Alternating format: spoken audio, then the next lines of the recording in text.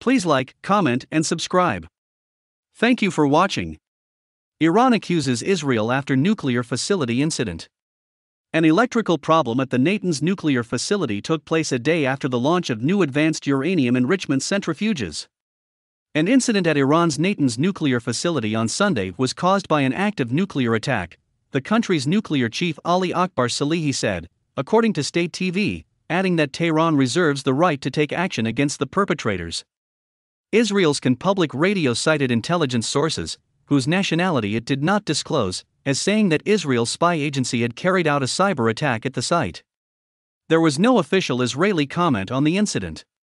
Earlier on Sunday, the spokesman for Iran's Atomic Energy Organization, AEOI, had said that a problem with the electrical distribution grid of the Natanz site had caused an incident, Iranian media reported.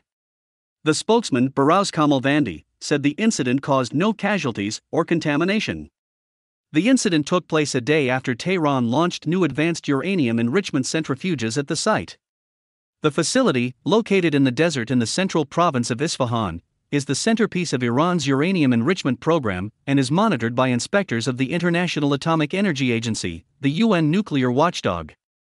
While condemning this despicable move, Iran emphasizes the need for the international community and the International Atomic Energy Agency to deal with this nuclear attack and reserves the right to take action against the perpetrators, Salehi said. He did not elaborate. Asked about the incident, an IAEA spokesman said by email, We are aware of the media reports. We have no comment at this stage.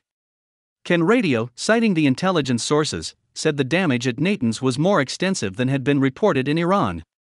If you like this video, hit the notification button for more news from Middle East. Thank you for watching.